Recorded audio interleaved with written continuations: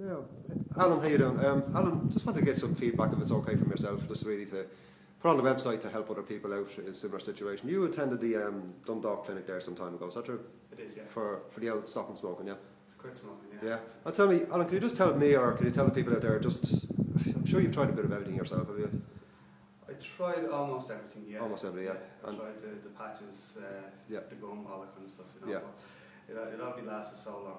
Yeah. You know, um, Just I was very sceptical about uh, hypnotism itself, you know. Yeah. I, didn't really think it would work. I was more hopeful than Yeah, confident. know what you mean. it, you know. Certainly like a last resort. Yeah, it was More or last resort. I was yeah. always going to give it a go. Once we picked up the, the flyer, I said we'll give it a go. But Yeah. as I say, I was more Yeah. hopeful. Yeah. It's actually, that's right, um, Hazel was in with your, your, your partner was in as Your well. partner was in as well, Both yeah. off the cigarettes now, the same thing. Both off, yeah. No cravings, no no eating habit changes, anything like that, you know. Yeah.